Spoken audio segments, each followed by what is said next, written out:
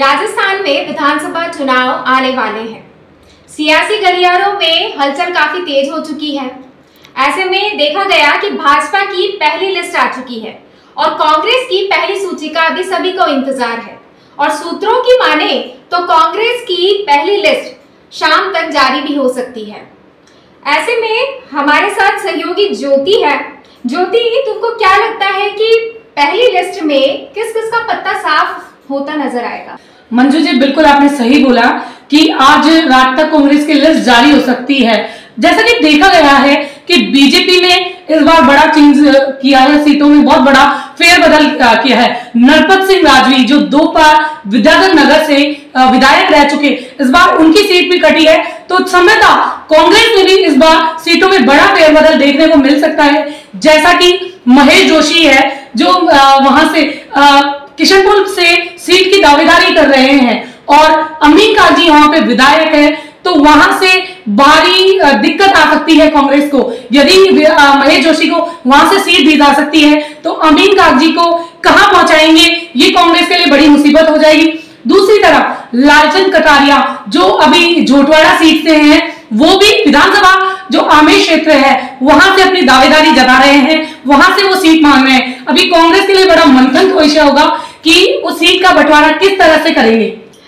ज्योति, जैसा अभी तुम कह रही हो कि लालचंद कटारिया की बात आ रही है तो सुनने में तो यही आया था सूत्रों के से कि वो अपने बेटे के लिए भी सीट मांग रहे हैं।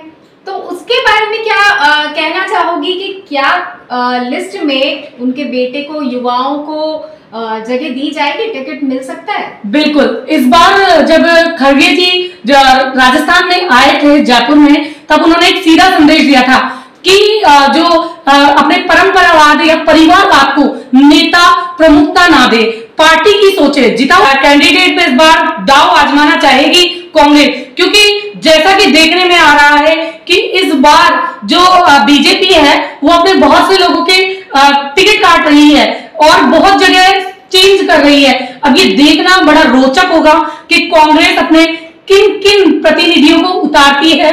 और जैसा कि आपने कहा कि लालचंद करारिया अपने बेटे की टिकट की मांग कर रहे हैं। वहीं दूसरी तरफ़ शांति धारीवाल और महेश जोशी भी अपने बेटे की सिफारिश कर रहे हैं। अब ये देखना दिलचस्प होगा कि कांग्रेस इन आ, के बेटों को टिकट देती है या कांग्रेस के ही किसी कार्यकर्ता को आगे जगह बढ़ाती है। मतलब लग रहा है कि ये जो चुनाव होने वाला है एक तरह से टिकट जिस तरह से जारी किए जा रहे हैं, परिवारवाद चल रहा है। तो बहुत दिलचस्प होने वाला है इस बार आने वाला जो विधानसभा का चुनाव है।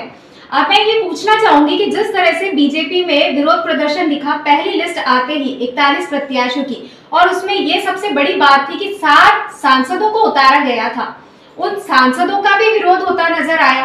तो लगता है कि कांग्रेस में भी पहली लिस्ट की माने तो कहा जा रहा है कि जो जिताओ कैंडिडेट है और जो सबसे पहले जो दिग्गज नेता है, उन्हीं की लिस्ट आने वाली है। तो लगता है कि उन पर भी विरोध इस तरह का नज़र होता है बिल्कुल जैसा कि आपने कहा, बीजेपी में विरोध बहुत ज़्यादा हो रहा है। तो आपको बता दें मंजू, कि कांग्रेस में अभी तक लिस्ट आई भी नहीं है और विरोध बहुत ज़्यादा देखने को मिला है।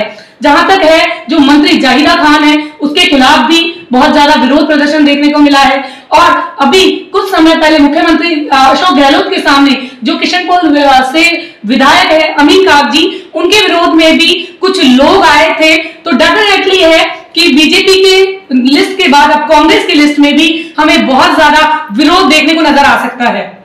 मतलब दिलचस्प होता नज़र आ रहा है और इस बार हम जैसे कि सुनते थे पहले कि सीट की लड़ाई होती थी।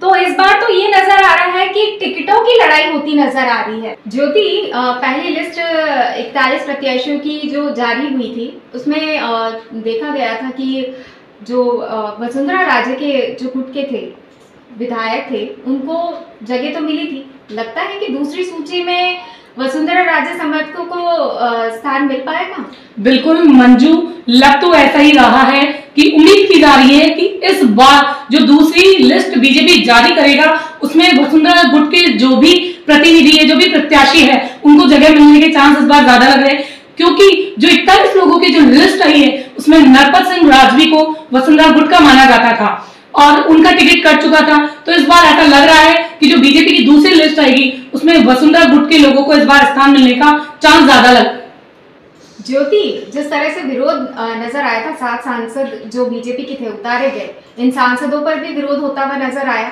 और अभी कुछ विधायकों के वीडियो वायरल होते हुए नज़र आ रहे हैं। जैसे कि कांग्रेस के जो विधायक है राजेंद्र विधोड़ी उनका भी पगड़ी पर लात मारना इस तरह का विरोध देखा गया था कि वीडियो वायरल हो रहा है। और दूसरी तरफ़ जो पूर्व विधायक है बीजेपी की राजकुमारी जाटक उसका भी विरोध प्रदर्शन बीजेपी में देखा गया है। उसके बारे में क्या कहना चाहोगी कि इससे किसको नुकसान पहुँच सकता है या इनको टिकट मिलेगा या नहीं मिलेगा? जी, बिल्कुल। मंजू जी, आपने सही कहा। जो कांग्रेस के जो विधायक है, राजेंद्र, उनका जो वीडियो वायरल हो रहा है, वो एक बहुत बड़ा नुकसान हो सकता है उनको, क्योंकि वो पहले दो बार विधायक रह चुके हैं।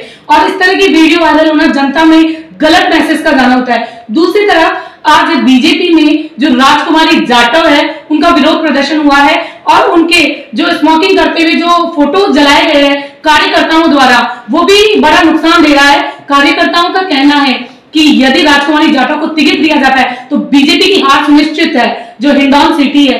तो इस तरह की वीडियो वायरल होना जब आचार संहिता लग चुकी है तो दोनों ही पार्टियों के लिए नुकसान हो सकता है। इन सीटों पर। क्या लगता है कि हिंडोन सिटी से यदि इसे टिकट नहीं मिलता है तो किसी और की संभावना नज़र आती है? बिल्कुल जिस प्रकार आज विरोध हुआ है और वीडियो जो फ़ोटोज़ कार्यकर्ताओं द्वारा जलाई गई है उससे तो यही नज़र आता है कि बीजेपी इस बार किसी बेदाग छवि वाले को वहाँ पे उतारना चाहेगी।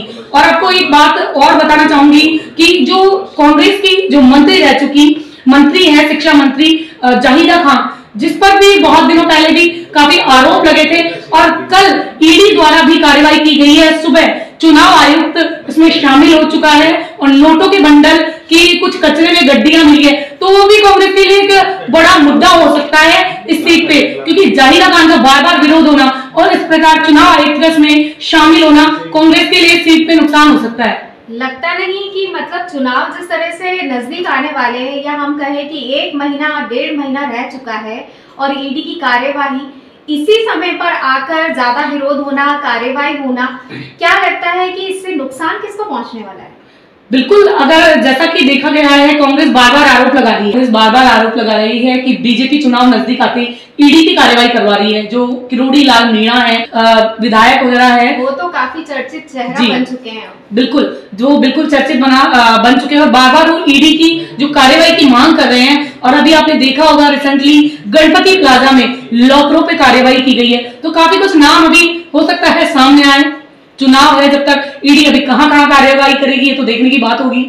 जी तो हमारे साथ आज हमारी सहयोगी ज्योति थी, जिन्होंने जितने भी सवाल टिकट